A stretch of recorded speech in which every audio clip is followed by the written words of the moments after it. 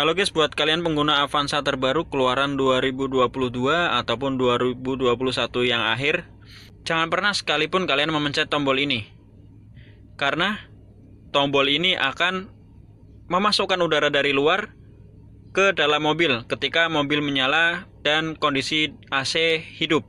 Jadi, ketika kalian memencet ini, ventilasi akan terbuka dan otomatis udara dari luar ataupun bau-bauan dari luar akan masuk dan itu akan menimbulkan bau yang tidak sedap di dalam mobil. Jadi, antisipasi kalian memencet tombol ini ya. Jangan sampai kalian memencetnya. Kalian harus tetap menjaga instrumen ini menyala. Jika lampu indikator ini menyala, berarti udara di dalam ruangan hanya berputar, tidak kemasukan udara dari luar. Itu akan menimbulkan bau yang tidak sedap di dalam mobil. Oke, jadi gitu teman-teman.